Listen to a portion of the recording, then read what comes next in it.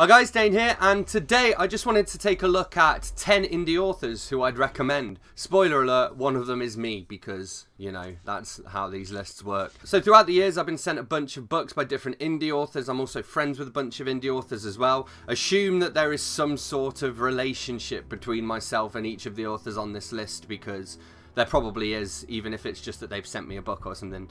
But a lot of these I've bought myself as well, because I like to try and support my fellow indie authors. I was going to do this alphabetically, but I'm just going to pick indie authors out at random and go through 10 of them in a list. There's no particular order to this. I'm going to tell you a little bit about their work, share some of their books, and let me know if you like this sort of thing because I have plenty more indie authors I can talk about, and so I might do more of these videos. Who knows? So author number one is S.H. Jucha. I think that's how you pronounce the surname and basically uh, S.H. Jucha has written a bunch of sci-fi novels that follow the story of these silver ships. So the first one is The Silver Ships, and then there's Meridian and Libra as well. I'm not sure which order that comes in. Let me just check that. Okay, yeah. So the Silver Ship series is The Silver Ships.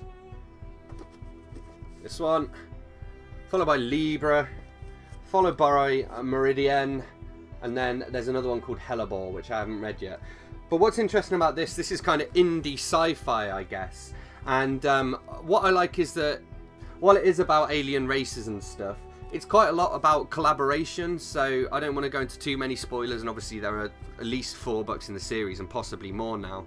Um, but basically, it all follows a guy called Alex Racine, uh, I think that's how you pronounce his name, and he is a ship captain, He's an explorer tug captain, and basically he detects this other life form.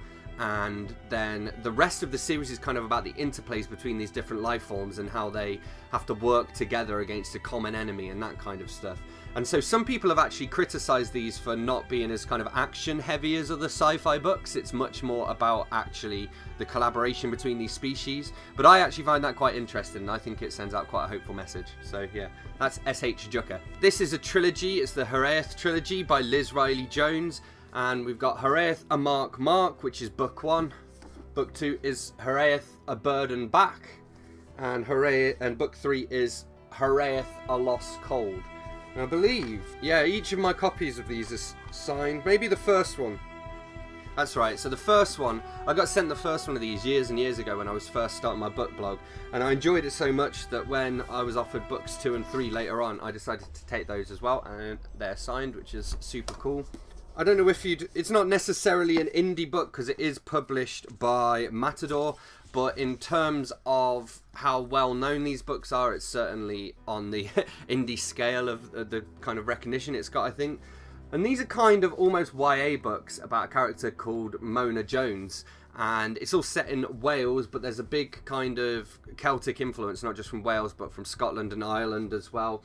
And it's almost, I would say, magical realism. So let me read the blurb from the first book, because obviously I don't want to go into books two and three, but they just continue the adventure and uh, you get really attached to the characters as well. Mona Jones has been on the run all her life without knowing why. Her parents were murdered, and now, at 21, her uncle and protector is dead too. The chain of events compels her to spend time amid a Welsh speaking community in Ynys Môn, I think that's how you say it, I'm not Welsh, which is Anglesey. Here, her druidic ancestry begins to emerge, though it is spotted more quickly by those around her. She is branded by an enemy druid and finds herself at the centre of a druidic civil war. And that's a pretty good blurb, really, for capturing what this is about. But I kind, there are kind of you would have the inevitable comparison to something like Harry Potter, for example, and it is on the YA kind of scale of things, but it's a bit more gritty, I would say. I mean, not just in terms of people dying, but people dying quite horribly, and there's like you know, it, it asks a lot of questions about society that I don't think Harry Potter went that deep into because it's a lot of the darker aspects are covered here. And I think that's pretty cool. Okay, author number three is Michael Israel Jarvis. And he's written a bunch of different books. The first one that I read was Gravedigger. This was actually later picked up by Booktrope Publishing, um, which was a company that published some of my books as well and I kind of referred Mr. Jarvis, so he's got an updated version of this now with a uh, like shiny new cover and um, really nice editing and all that kind of stuff in as well. My copy here is signed. His signature is tiny from 2013. So this one, Gravedigger, is about almost an anti-hero called Perrin, who he's he's literally a gravedigger, and so it's kind of it's described as like spades and sorcery. So it's sword and sorcery, except he uses a spade as his weapon, and his profession is a gravedigger. So that one's probably my favourite of the lot because it was the first I read. We've also got The Maker's Bloodline, Land Rising. Uh, Land Rising is the first book in this series. I'm not sure if more are out yet. And this is more, I would say, kind of hardcore fantasy, whereas uh, Gravediggers, it is it is fantasy, but it's I don't know. I, I don't know how. I'll, it's more like fantasy and intrigue and Gravedigger and like all politics of the world and that kind of stuff. Whereas I found um, Land Rising to be more literally big battles and your your typical take on epic fantasy, I think. And then Osric Fingerbone and the Boy Murderer, which um, this one's kind of quirky. The blurb is London, England, 1864. 12-year-old Edward Sachs has just become a murderer. The criminal underworld he enters is full of mysterious characters, none cutting a greater dash than Osric Fingerbone, alchemist and expert killer.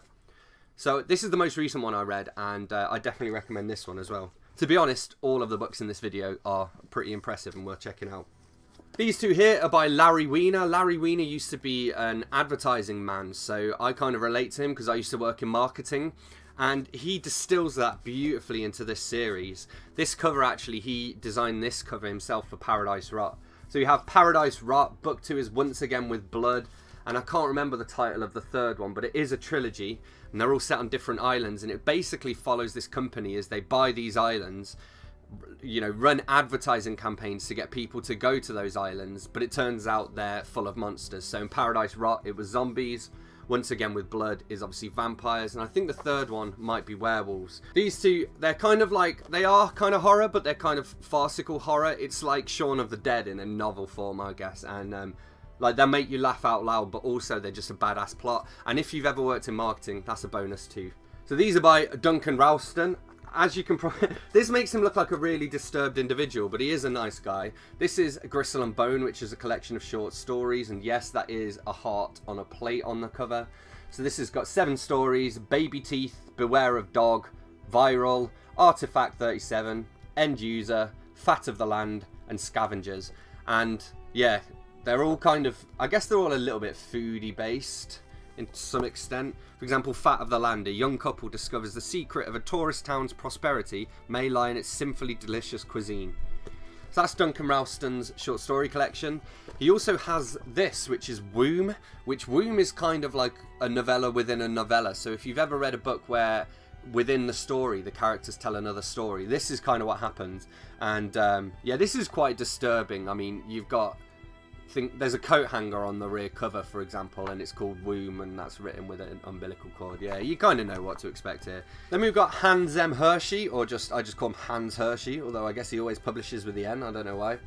So Hans first sent me Willem of the Tafel, which is kind of a post-apocalyptic novel. Um, it's kind of about after the big accident when they tried to rebuild society. But what's interesting about Hans' books is that uh, he's like an LGBT writer in that his characters are generally LGBT, but it's not really a big part of the story. So I guess there is there's kind of an um you know M slash M. How, how do you say that out loud? I've only ever seen that written down. There's like a male-male romance as part of this story, but the the vast, vast majority of the book is just about rebuilding society after this um, this awful thing. I believe um, basically the civilization in this are hiding inside a mountain, and then Willem decides to go outside and see what's cracking, and uh, that's where the plot really takes off. He's written loads more books, and I've only got a few of them, but this one's The Opera House, so this one's more about an architect and uh, yeah, his relation with a street, a relationship with a street kid that he finds, kind of a father-son relationship going on. Yeah, so after the death of his own son, Raphael's kind of torn up about it, and then he sees meets a street kid and kind of sees a, a possibility for a second chance there. And then the Fallen Angels of Karnataka, this one is, I think, maybe slightly more autobiographical. I've got to say, I can't really remember this book, but I do remember really enjoying it at the time. Still young and mourning the loss of his lover, Hakon is not ready to give up on his dreams, so when a rich Englishman offers him the chance to join him on a tour of the world, Hakon takes it, daring to believe that his dream is finally coming true but at what price? So yeah, I mean, I don't tend to read specific genres. I like to just read authors that I think can write a good story, and Hans can definitely write a good story. But equally, if you are into LGBT books, as an indie author himself, I'm sure uh, Hans would appreciate some support. This one's a High Wycombe author, so from the same town as me. This is Oli Jacobs. He's currently uh, doing a kind of a crowdsourcing campaign, but Oli's got about a dozen books out. For example, he has a bunch of filmic cuts books out, like this one, and these are um, short story collections. This one's a hardback copy, and if you meet him in person, he'll even sign it and number it and all that kind of stuff. Yeah, there's some pretty cool short stories in this, and he kind of experiments a little bit with um, like the traditional way you should tell a story and the layout of it. Strange Days in High Wycombe is literally set in my hometown. Uh, I'll read you the blurb. You've just woken up with the worst hangover known to man, a mysterious blonde by your side, and a hairy ruffian in the living room. What do you do? Well, if you're a Guy, you head to the pub. And so this is all entirely set in High Wycombe. I mean, it might not make as much sense to you if you're not from around these parts. And um, I think it's, some, it's interesting because I've seen one bad review of it where they kind of said um, you know that the main character's a bit of a bit of a chauvinist, a bit of a bellend, but he's kind of meant to be a bit of a bellend, you know. I think we all are in, in our ways. So these two are by Adrian Baldwin. I actually got this first one, Barnacle Brat, which is a dark comedy for grown-ups. I got this as a Secret Santa thing uh, one Christmas. So Adrian got me as his Secret Santa on this Twitter Secret Santa and sent me a copy of the book, which is pretty cool. He's also sent me his... Uh, oh no, I bought the follow-up, Stanley McCloud Must Die um, which I haven't read that one yet, but I know that I'm a character in it and I get murdered, so I'm looking forward to that. In Barnacle Brat, if you don't like clowns, you're going to find it scary because there is kind of a crazy clown in it. But like like it says on the blurb, I mean, it's a dark comedy, so it's it's funny, but it's also scary in places, I guess. Another horror author here, we have J.G. Clay, and J.G. Clay used to be on my imprint of Booktrope as well. I actually used to be his book manager. So he's got Tales of Blood and Sulphur, which is a collection of short stories um, which I helped him to market this book as well. And so I guess I'm still doing that by promoting it in this video. But it is, again, an excellent collection of horror shorts. And then Peace and Quiet Time and Space, which is a novel. And it's very interesting to me anyway. It reminds me of like, um, almost like William Burroughs or someone like that. It's like, it's, it's very, um, it's difficult to read, but it's also enjoyable to read. And finally, of course, we have this chap called Dane Cobain, who is me, and I have a bunch of books out. I'm on low battery, so I'll whiz through. But I have No Rest for the Wicked, which is a supernatural thriller. Former.ly literary fiction about a social networking site for the dead.